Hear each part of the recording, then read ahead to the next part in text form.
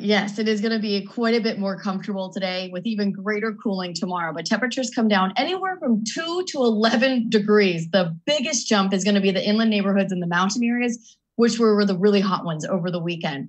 Right now, we are seeing those low clouds return as we look towards Chula Vista from Otay Mountain. We will see the marine layer become a little bit more extensive each morning and then taking a little bit longer to clear out. But most areas are still going to be clearing out by mid morning this week.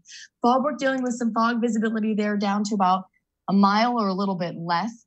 Pretty warm start to our morning. It's 70 degrees right now downtown, near 70 in Chula Vista, El Cajon, Carlsbad, Kearny Mesa. Now, that excessive heat warning does continue in the deserts until 8 p.m. today, but the heat advisories inland in the mountains were allowed to expire yesterday.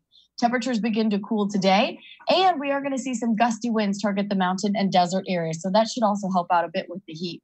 Temperatures drop to the mid 70s this week along our coastline, so actually really close to normal. Overnight temperatures also getting cooler.